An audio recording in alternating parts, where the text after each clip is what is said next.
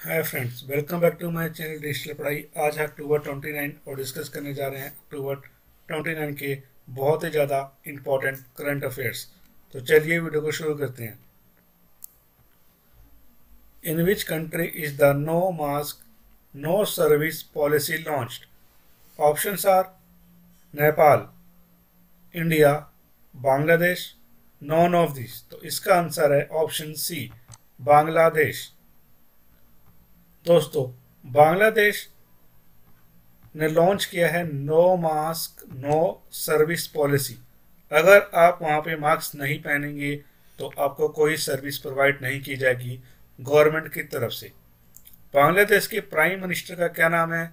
Sheikh Hasina.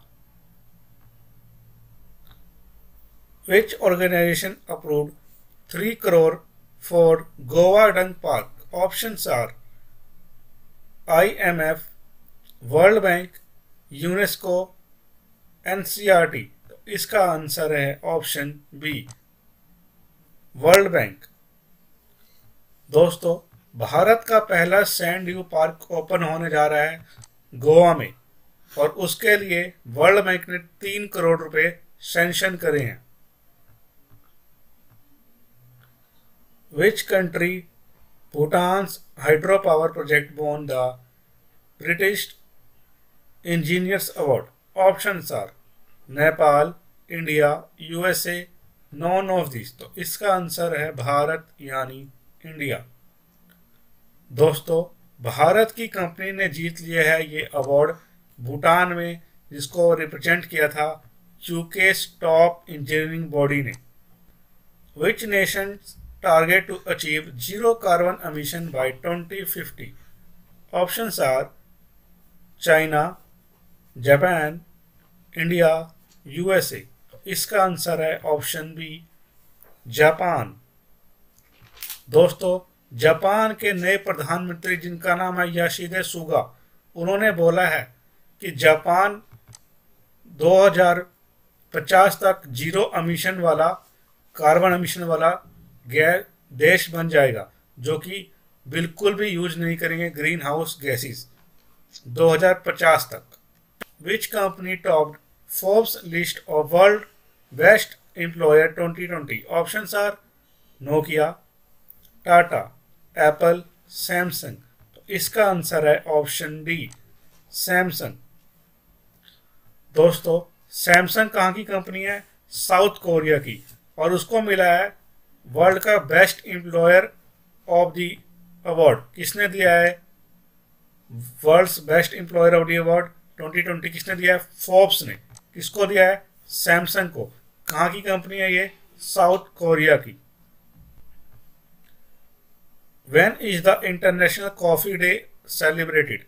Options are 1 october 2 october 3 october none of this तो इसका answer है option A one October को मनाया जाता है विश्व काफ़ी दिवस। When is the national girl child day observe every year option are 16 January 11th October twenty fourth January twenty six February तो यह मनाया जाता है 24 जनवरी को। हर साल मनाया जाता है राष्ट्रीय बालिका दिवस।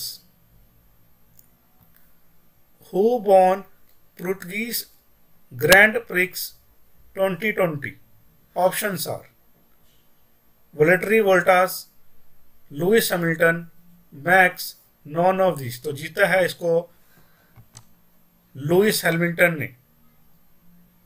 दोस्तों, ये है लुइस हैमिल्टन जिसने जीता है Mercedes Great Britain Portuguese Grand Prix Award.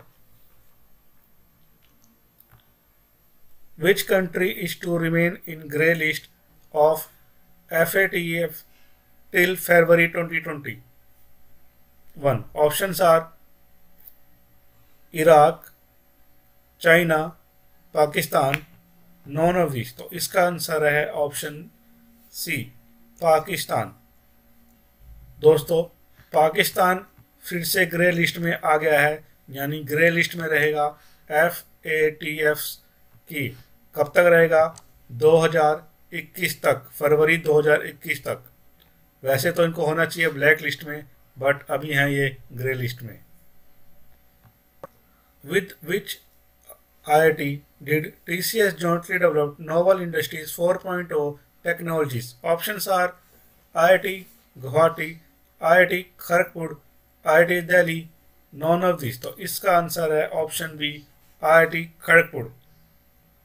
दोस्तों आईआईटी खड़गपुर और टीसीएस यानी टाटा कंसल्टी सर्विस ने मिलके एक प्रोग्राम लॉन्च किया है जिसमें वो इंडस्ट्रीज़ के बारे में इंडस्ट्रीज़ की 4.0 टेक्नोलॉजीज़ में काम करेंगे। तो इससे के साथ समाप्त होता है आज का सेशन। उम्मीद है आपको पसंद आया होगा।